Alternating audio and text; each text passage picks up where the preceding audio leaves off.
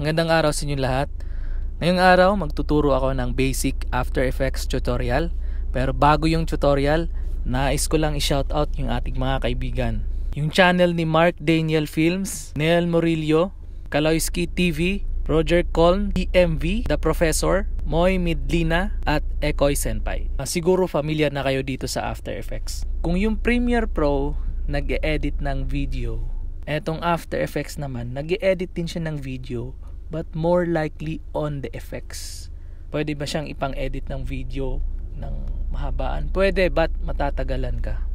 Nais kong simulan yung tutorial natin dito sa interface. Ito yung toolbar ng After Effects. Maraming tools pero hindi lahat dapat mong pag-aralan para matuto ng basic After Effects. Una, etong selection tool, ito yung ginagamit pang select. Shortcut pala ng selection tool is V. Type mo lang sa keyboard mo, V. Next, yung zoom tool. Ito yung pang zoom. Click mo lang yung Z, then roll mo dun sa mouse mo. Then next, anchor point. Later, i-explain ko sa inyo kung ano tong anchor point. Then, uh, rectangle tool, pwedeng pang shape, at pwede rin pang mask. And then pen tool, dalas na ginagamit natin pang mask. I think wala na. Ito pala yung puppet tool. Next, ito naman yung project panel. Dito makikita mo yung videos na in-import mo, mga compositions, dito mo makikita. Ito naman yung preview ng composition mo. Dito naman yung effects panel. Maraming mga panel dito, pero ilan lang yung magagamit mo dito. For the meantime, info, hindi mo kailangan yan. Audio, hindi. Effects and presets, yes. Libraries, hindi. Align, yes, for the text. Ito yung i-align mo center, align mo to the left and to the right.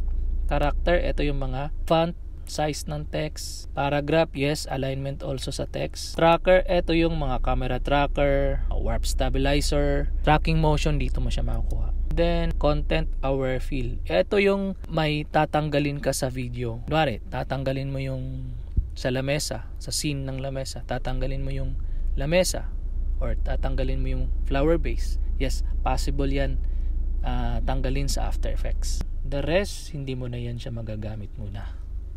Then the last panel is ito yung panel ng timeline. I think tapos na ako dyan sa intro sa panel. Dito sa After Effects, ang tawag dito sa project niya ay composition. Kaya bago ka magsimula ng After Effects, gumawa ka muna ng composition. May tatlong paraan. Pwede mo i-click dito or dito sa composition, new composition, or simply uh, control N mo na lang siya. Control N. Yan. Okay. Pangalanan natin yung composition natin. Uh, papangalanan ko ng main card. Then sa resolution okay na tayo dito di ba? 920 by 1080p frame rates Okay, 60. Okay, para makaslow down tayo. Then duration, magsa-start tayo ng 0 and mag-end tayo ng 10 seconds. Background, okay na ako dito sa green. So ganito lang sa After Effects. Kung mapapansin nyo, masyadong maikli yung uh, duration niya. Kasi nga yung in-edit lang natin, isang effects lang. Unlike sa Premiere Pro, nag-edit tayo ng buong clips ng maraming effects Okay, click ko na yung okay.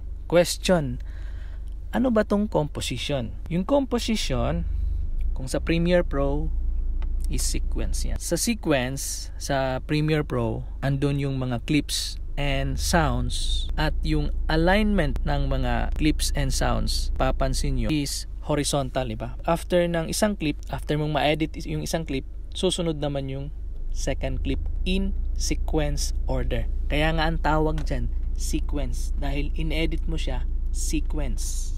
Ganyan sa Premiere Pro magtrabaho. Whereas sa After Effects, walang sequence.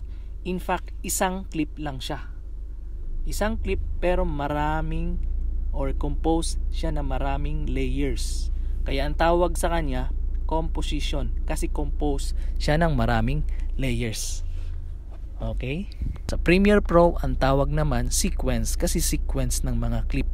Sa After Effects, ang tawag composition. Kasi composition yan ng mga clips or ang tawag dito layers. Dahil nakagawa na tayo ng composition, Siyempre, ang susunod nating gagawin is kailangan natin i-import yung mga kakailanganin natin.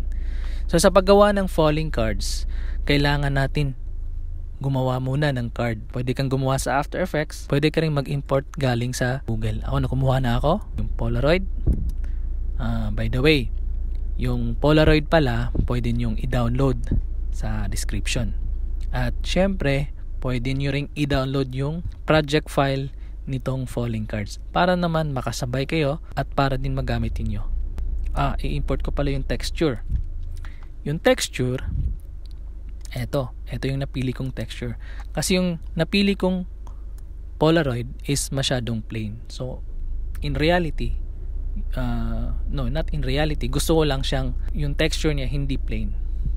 Gusto yung texture niya magmukhang uh, magaspang. At the same time, tutorial na rin sa inyo. I-drag mo lang yung Polaroid dito sa baba, dito sa timeline natin. Then, kasama ang texture. Okay. Kita na natin dyan. Okay. Agaya ng tinuro ko kanina, yung zoom, kasi masyadong maliit yung screen natin. Press mo lang Z or click mo yung zoom. Uh, execute mo dun sa mouse mo. Okay, roll mo lang. Oh, ganun. Okay, eto na yung texture natin. By the way, dito sa timeline natin, pwede nating i-hide or i-unhide yung mga images na nilagay natin. Mga clips. Yung nilagay ko pala hindi video. Clips lang, uh, images lang siya. So pwede mo i-hide, i-hide, pwede mo ring i-unhide. So, sa napapansin nyo, uh, walang texture yung Polaroid natin. Now, gusto ko siyang lagyan ng texture ng uh, texture ng uh, ano man tawag dito? Uh, semento. Okay? Ang gagawin mo, syempre, ise-select mo na yung uh, clip na yan. So, balik ka dito. Ito yung selection tool. Uh, select mo muna yan. And then, punta ka sa effects. Type mo uh, texturize. So, uh, ito pang kailangan yung matutunan sa After Effects. Kailangan yung pag-aralan yung mga effects din dito. So, ito alam ko na texturize, pang texture yan. So, nilagay ko na dito na clip. And then, so nilagay ko na dito na clip, yung texture. So, eto na lumabas dito. Pwede nyo um, kailangan yung iselect dito kung saan kayo magte-texture. Gusto kong gamitin tong texture na to. Kaya select texture.jpg. Okay. Napapansin nyo. Napapansin nyo, yung texture ng ng texture JPEG dito pumunta dito sa Polaroid. Yes, ganyan po yung magic niya. Kaya lang, hindi ko gustong makita ito. Okay? So, syempre, alam na natin yung unhide at saka hide. So, i-hide natin. Yan. Okay. Meron na tayong uh, Polaroid na may texture. Uh, gusto ko lang siyang babaan. Ito pala yung texture contrast. So, 0.5 lang. Yan. Okay. Meron na tayong isang effects na na-learn. Uh, texturize. Okay. What's next? Gusto ko lagyan. Gusto kong gawing puti ito. So punta ka sa baba. May mga item dyan. Right click. Click mo yung new. Gusto kong lagyan ng solid. Solid na white. Okay. White solid. Ayan. Kaya lang mas, yung solid natin masyadong malaki. So kailangan natin paliitan. Okay. Paano siya liitan? Una syempre see to it na naka selection tool ka. So select mo na dito yung clip. Click, uh, yung arrow, click mo ito. Click mo yung transform at dito sa scale. Reduce mo yung scale. Okay. Okay. Or another way is balik natin sa dati. Okay, balik natin. Click mo yung S or scale. Lalabas yung scale. So, babaan natin.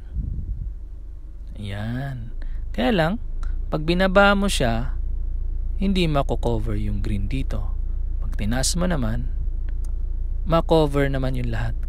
Ang gagawin mo dyan, unlink mo to. Okay. Okay. Ayan. Taas mo to. Kaya lang, ang problema naman dito, nauna yung puti. So, parang premiere lang din yan. Kung ano yung naunang layer, yun yung unang mag appear yun yung nasa ibabaw. So, i-drag mo lang siya. First, select muna, then i-drag mo siya. Pwede mo i-drag dito sa ilalim ng texture or sa ilalim ng Polaroid. Okay. Nakabuo na tayo ng isang card. Okay. By the way, instead na solid yung ginamit nyo, pwede nyo gamitin yung picture nyo. Pwede nyo ilagay dyan. So, paano siya gagawin? So, first, balik muna tayo dito sa project natin. Dito yung mga images and clips. Uh, dito, click mo yung arrow na yan. Uh, click mo yung project. Okay. And then, control I para sa import. Okay. Lalagyan ko ng picture. Ito, lalagyan ko ng uh, ito. Okay.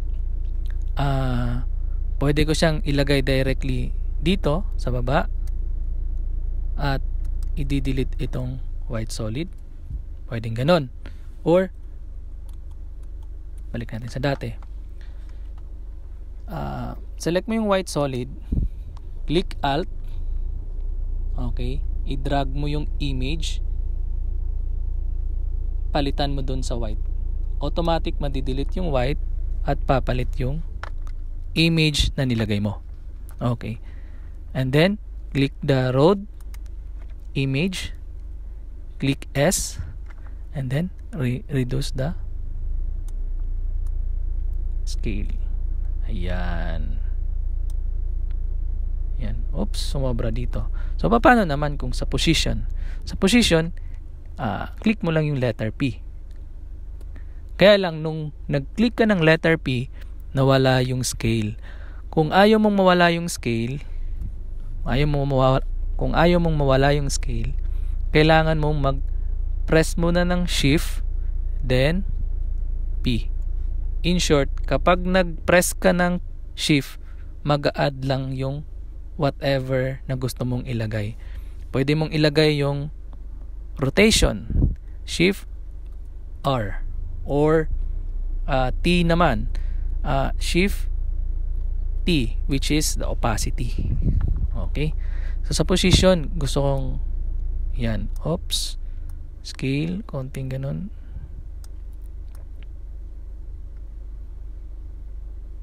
Okay. Buo na yung isang card natin. Um, I think tapos na tayo sa isang card. Tapos na tayo sa isang composition. So, etong composition na to, ang tawag main card, ay composed ng tatlong layers. So, gagawa ulit ako ng another composition para sa another pa na card. Kasi nga hindi hindi na ako pwedeng gumawa pa dito ng ibang card. Etong eto lang talagang particular na card yung pwede kong gawin.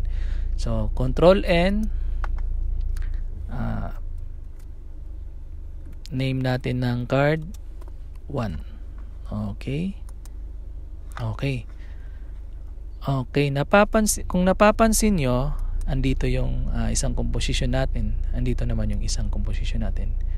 Yes, Kapag gumawa ka ng another composition, magiging separate po siya na composition. Ganyan, ganyan magtrabaho sa After Effects. By composition. At yung composition na yan, pwede mong pag pwede mong gamitin pa sa another composition. Later, papakita ko sa inyo yung lahat ng composition na nagawa natin pag pagsasamahin natin yan. Okay.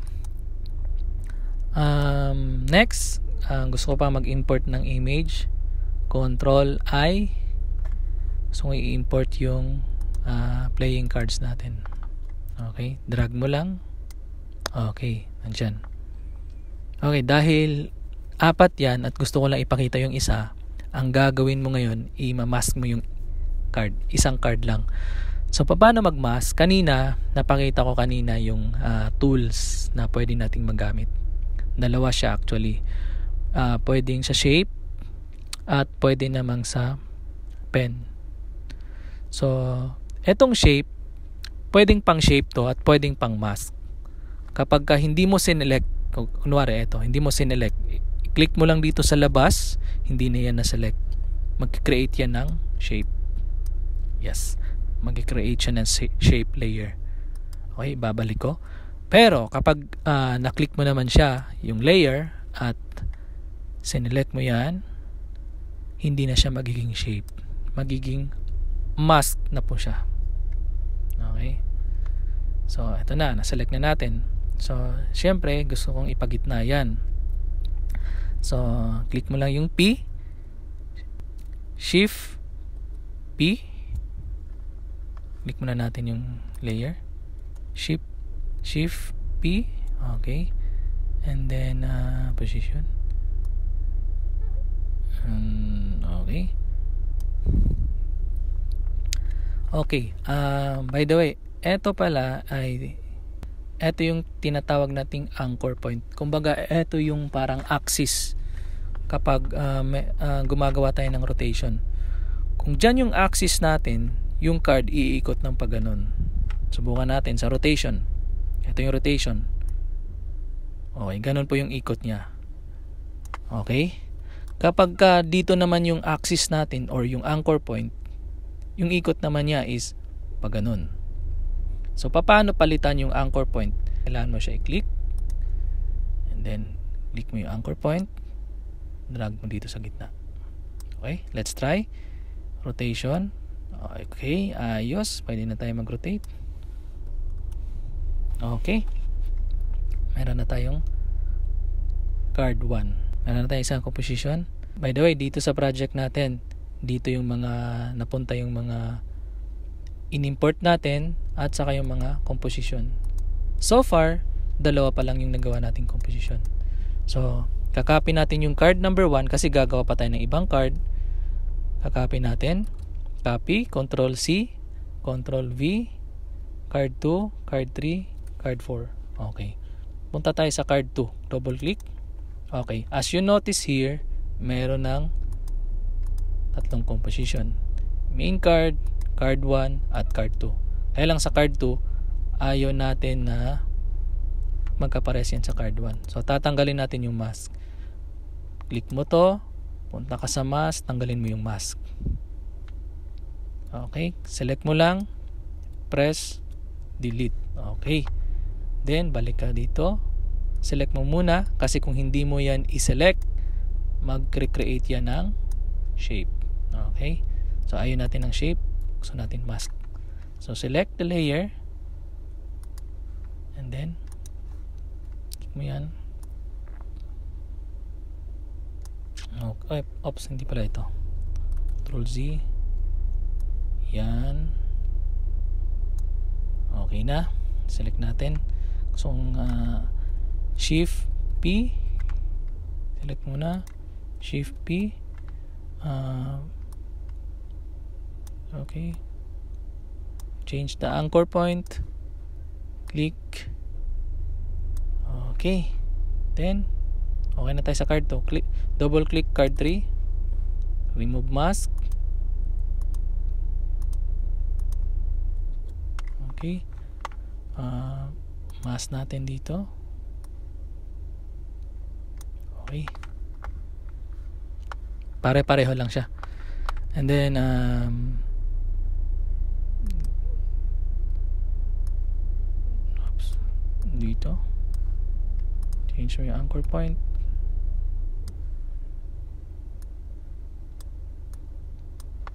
Okay. And then, card number 4 remove natin yung mask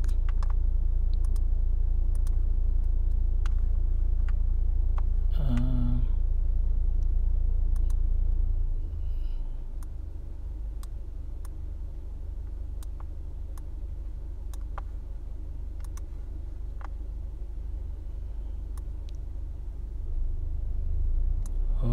Okay, uh, okay, tapos na tayo sa card natin.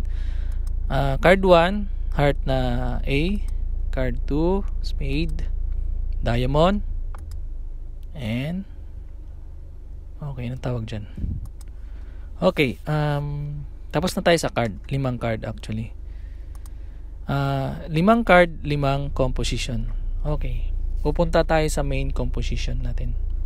Create composition, new composition, at uh, name natin ng bottom view. Bottom view kasi ito yung falling card which is view mo siya sa bottom.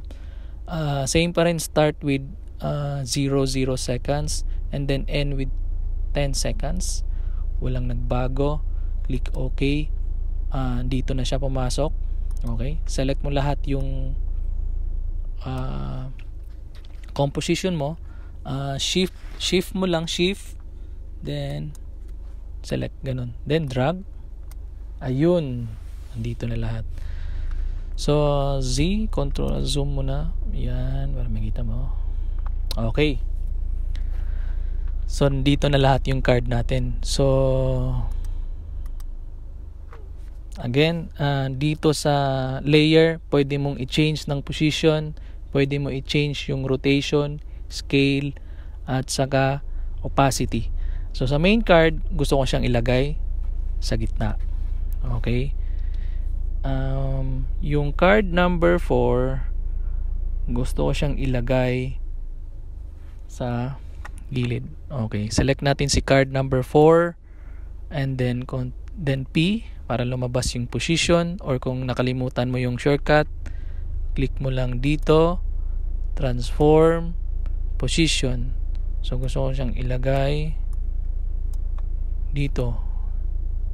Dito si number 4 si number 3 gusto ko naman siyang ilagay. Click uh, P. Gusto ko siyang ilagay sa baba. Yan um, okay. Si number 2 click mo yung P. Si number 2 gusto kong ilagay sa taas. Ayan. Okay syempre si card number 1 gusto kong ilagay sa baba. Okay yan yung position ng card natin. Okay. Um, kanina naituro ko sa inyo yung rotation.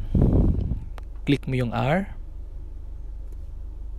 okay rotation. Pero kung gusto mo siyang idagdag lang shift mo lang then R para madagdag. Kaya lang yung rotation niya dito is rotation lang ng Z. Anyway hindi pala na center to. Uh, palitan natin. Yan. Click mo nga natin lahat. Rotation ito. Ah dito pala. Okay tina center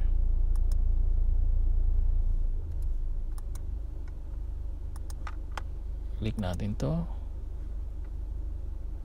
card that's card number rotation okay yung anchor point ng iba yung anchor point ng iba papalitan ko lang yung anchor point uh, Okay, balik tayo sa selection tool.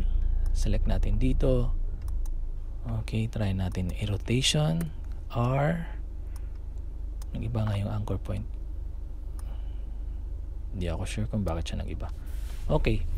Now, na-set na natin. Uh, wait, eto. Check ko muna to.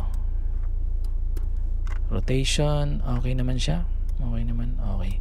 Now, na-set na natin yung uh, lahat ng anchor point nasa gitna. So, ibig sabihin yung axis ng rotation nila nasa gitna din. Ang problema dito is yung rotation niya is rotation lang ng z-axis. So, para maging uh, ah, 3D yung rotation niya, kailangan mong i-click yung 3D box. Ito yung 3D layer. Dito. So, para mag-click, paano maging 3D layer? Click mo lang yan. Yan, kailangan mo lagyan siya ng 3D box na pag nilagyan mo siya ng 3D box, uh, notice yung rotation natin may tatlong axis. May X, may Y, may Z. So ano ano ba tong mga to? Uh, yung X axis, ito yan. Yung Y naman, dito yan. Yung Z naman, yan yung original. Yan yung dot, yung kanina. Okay. So, nagawa na natin lahat. Uh, kagaya sa Premiere Pro, etong uh, After Effects, meron din siyang keyframe. Itong mga orasan na to. Okay. Halimbawa, uh, sa position, add, add tayo ng position. Sh- shift P. Okay. Uh, orasan natin diyan.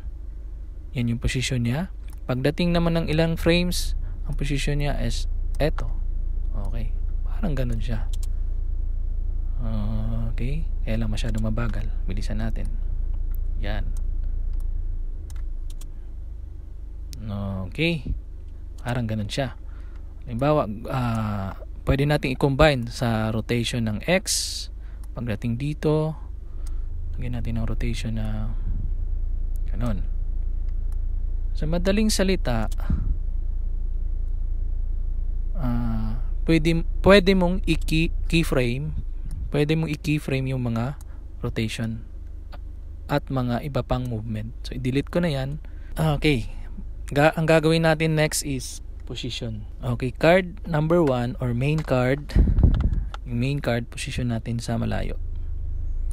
Siguro mga, I think, kailangan ko ng mga 10k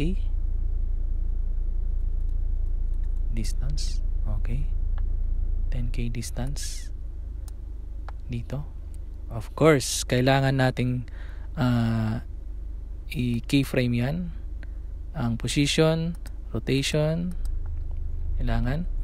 And then sa rotation uh, maybe pwedeng uh, 25 and then uh, pwedeng 120 and then pwedeng uh, 40 yan. And then after several frames or seconds um, ang position niya is magiging mag-iiba naman or later na sasabay ko na lang lahat itong uh, card number 4 ang position ni card number 4 uh, gusto ko nasa 9,000 siya no no no select muna natin Card number 4, 9,000.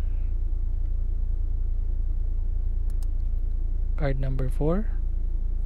No, no. Position, add position.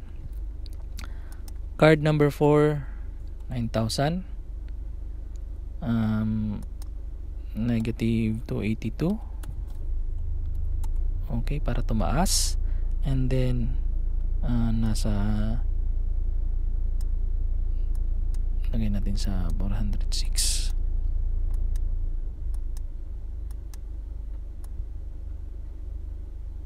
yan okay uh, keyframe natin lahat.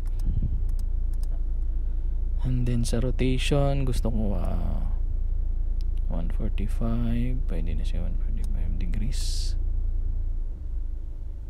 Yan. And then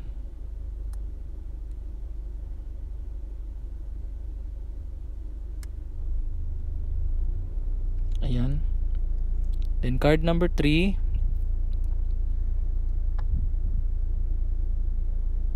uh, position natin ng mga position. Card number 3 add ka ng P. Shift shift P. Uh, 8,000 this time. And then nasa maybe baan pa natin.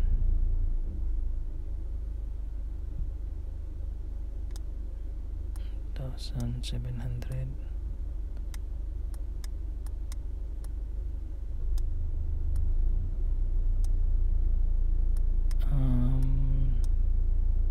Maybe dito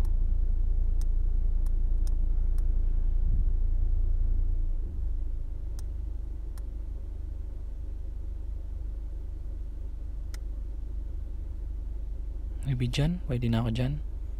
Click mo yung position. Okay, sa rotation, si card number 3, uh, dito siguro mga 1, 123, then 120 na lang. Uh, lagay natin 80 So dito mga negative 50. So okay. Uh, siniset muna natin yung ano. Okay, next card. Card number 2. Uh, ah, gusto ko siya sa nasa 7,000 kanina 8. Wait, wait. Hindi pa pala nilagay yung control P, not control P. Shift P. Shift P. And then ang kanina 8,000 7,000 yung gagamitin natin. And then uh, mga 383 and then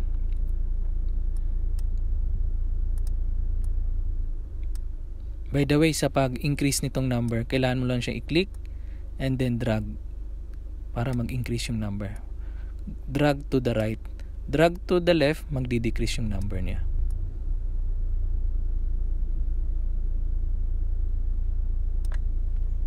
Okay med- medyo matagal yung uh, oras natin na nagamit dito. Okay rotation uh, okay na ako dyan. 100 and then negative 25 and then 85 oh, hindi na siguro 85 okay.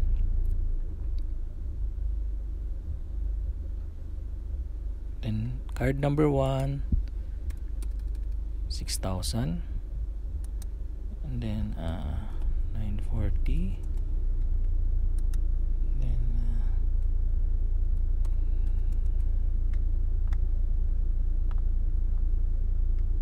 wala yung card number. 3 okay. Dyan pa yung 3 and then negative 25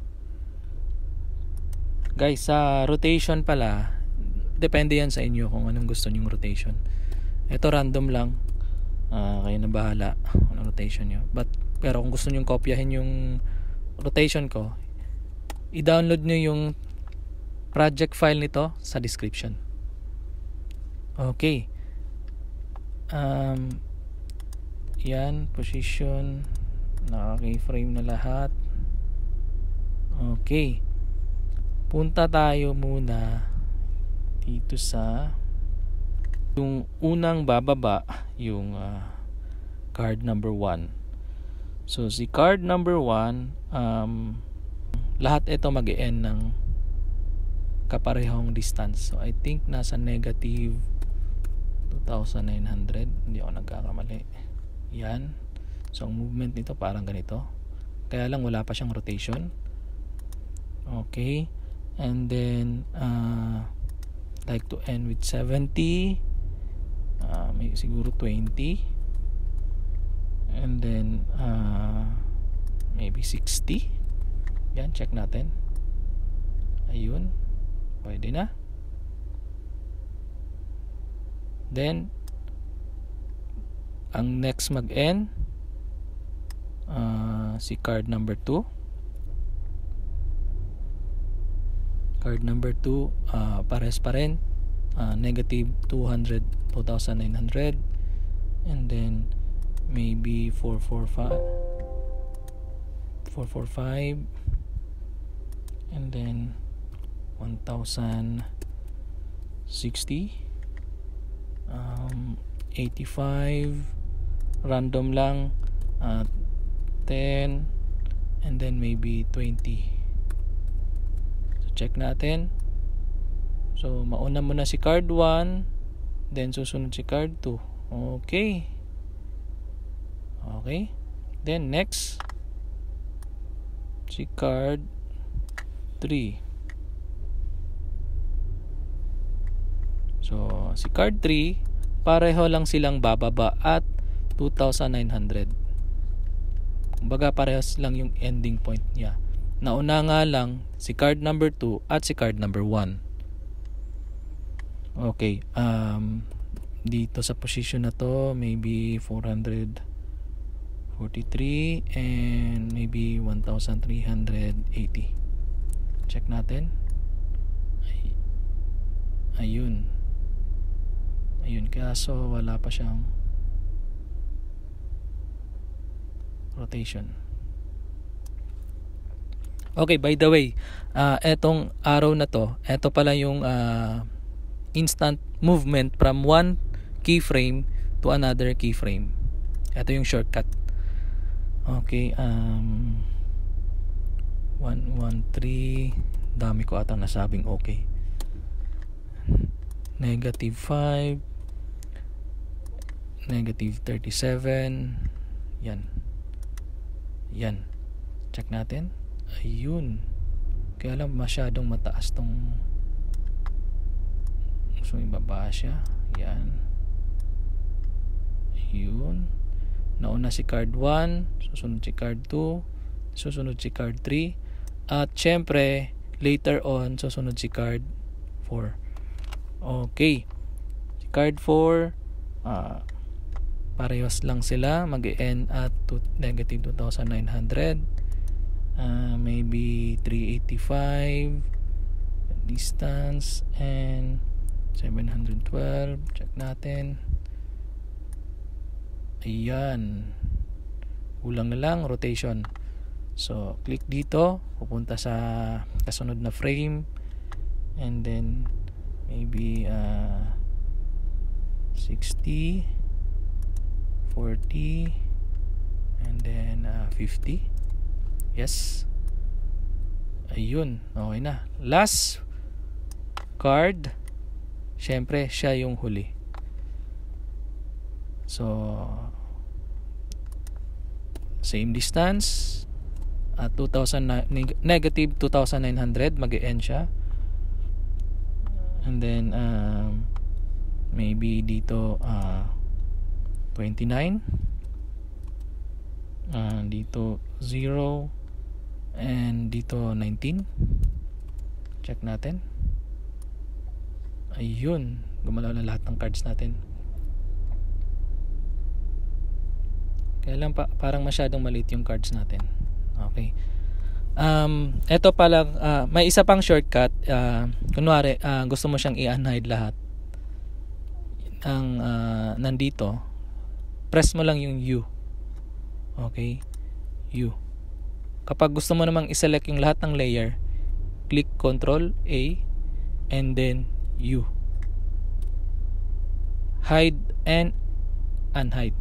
Okay. And then uh, press S for the scale. Gusto ko lang siyang i-scale ng konti. Yan. Yan or maybe ayan. Ayan. Okay um I think tapos na tayo. For uh, basic after effects uh, tutorial. So again uh, kung gusto nyo i-download yung project file or yung template ng falling card nasa description po pwede nyo i-download Okay, uh, meron pa pala akong nakalimutan. Next is the camera. Okay. To unselect the layer pala is kailangan mo i-click dito sa baba or somewhere else para ma-uncheck, para ma-unselect. Then, right click. Uh, dito may maraming tools. Pwede ka mag-add ng adjustment layer, kagaya sa Premiere Pro, camera, and light. Okay, but this case, I will add camera. Click mo yan, okay? Okay, wag mo muna yung pansinin. Yung camera, ang idea nito, ito yung uh, kung saan naka-view yung camera mo. Kung saan naka-view. Halimbawa, ito. Uh, top view. Okay, ito yung camera. Ito yung mga cards. Later on, yung mga cards na yan, babagsak yan dito. Ayan. Yan, isa-isang babagsak.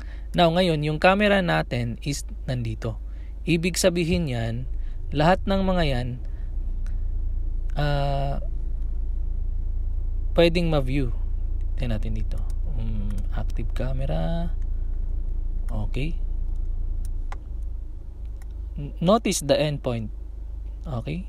Na-view pa rin sila. Kasi nga yung camera niya, yung camera niya is nandito pa. So, kailangan mo i-adjust yung camera papunta dito. So, sa pag-adjust ng camera, kailangan mo lang ito itaas yung position. Hindi pala dyan. Yan. Kailangan mo itaas. Kasi top view ito.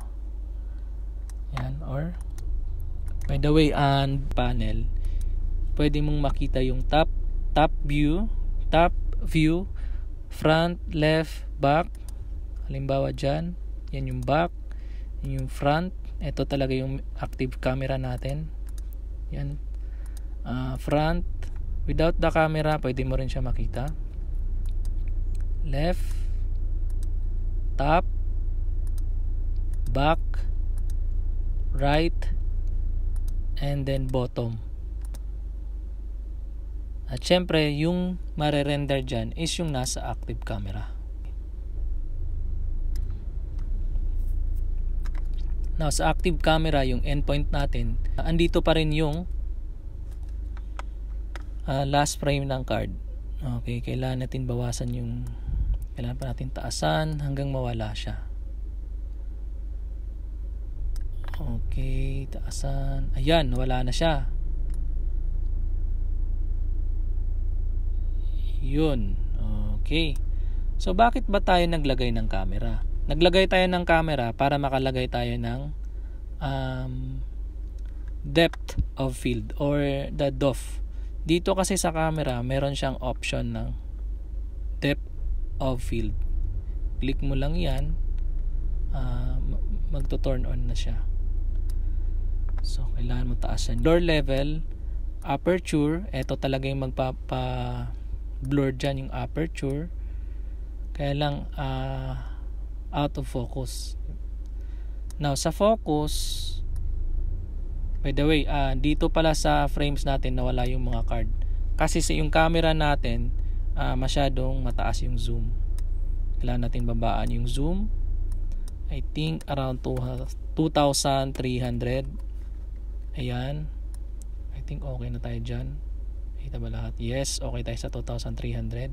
And then out of focus, gusto ko siyang maging focus dito at this point.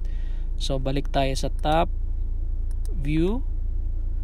Ito pala yung focus line. So kailangan natin babaan yung focus line, focus distance dun sa last card. So kung ma-focus yung card na main at yung ibang card naman out of focus. So kailangan natin babaan.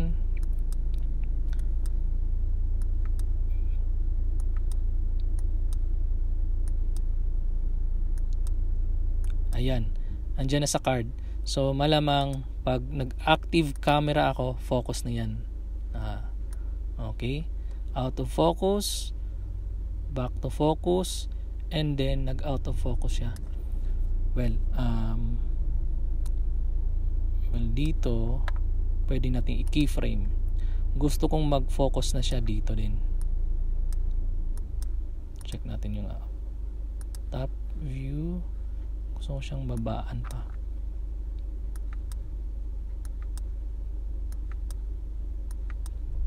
Sa last card. Ito yung last card natin. Dapat yung focus distance natin nandito sa last card. Balik tayo sa active camera. Okay nakafocus na siya Notice dito, out of focus lahat. Gusto ko rin ma-focus siya dito. Mga siguro bandang dito. Bandang dito, gusto ko siya ma-focus. Balik tayo sa top. Ito yung last card. Kailangan natin ilagay yung focus distance dito sa last card. Kailangan natin taasan. Ayan. Balik tayo sa active camera Ayan, nakafocus lahat except dito sa mga cards natin. Okay. Ayun. And then, uh, okay na tayo sa camera. Naglagay lang ako ng camera para sa focus. Actually, yung camera meron pang ibang gamit. Pwede mo rin gamitin yung camera para mapakita yung left view. Ito kasi yung left view niyan. Kasi hindi mo yan pwedeng i-render kung hindi mo papalitan yung camera angle. So, paano palitan yung camera angle? Um, punta tayo sa top view and then um, control uh, press mo lang yung control and then ayan. Check natin. Ayan. Dito sa active camera nagbago na yung camera. Hindi na siya bottom. So yan yung gamit ng camera kung saan naka point yung camera doon din yung mare-render okay so syempre balik ko yan then last is syempre walang shadow yung cards natin lagyan natin ng shadow para magkaroon ng shadow, kailangan merong lights. So, right click, click new, and then lights. So, sa lights, um, click natin yung point. Think point. Okay. Ayan. Okay. Yung iba may shadow. Yung iba wala.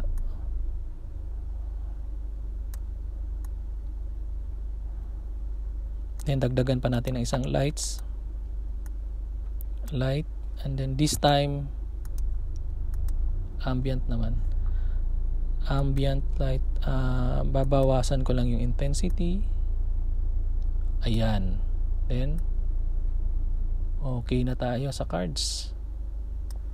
Bawasan pa natin. Taasan natin. Okay. 65. Okay, okay na ako dito. Okay? Hanggang dito na lang. At sana meron kayong natutunan. Again, pwede nyo i-download yung template, yung project file ng falling cards at pwede nyo palitan ng photos ninyo or ibang images or text. At uh, nga pala, pa-subscribe na lang. Thank you.